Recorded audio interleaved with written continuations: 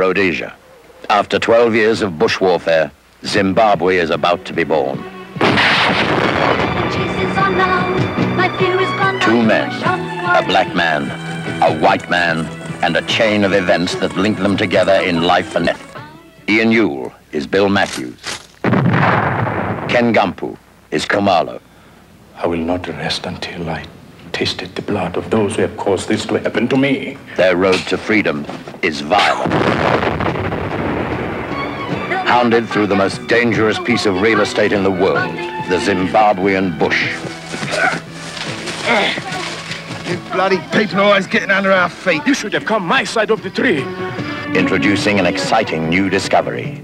Tamara Frank and Denny Fapazam. I've got to get them before they get those shackles off. When I was a policeman, they used to give us medical checkups. You got a chip on your shoulder. No, man. I just want to be treated like a human being.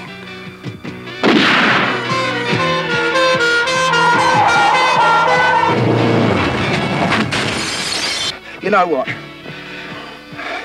I don't, I don't know if anybody ever told you, you have to have an education to run a country.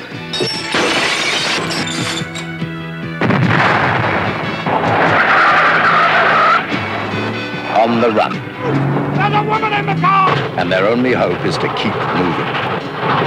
If I lower you over the side, You must be joking. I'm not going over there. I could get killed. why don't you stop fighting me? I don't hate you.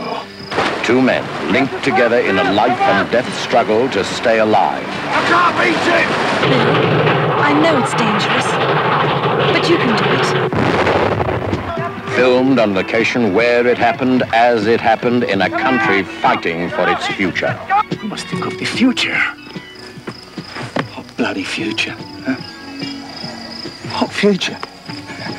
We haven't got any.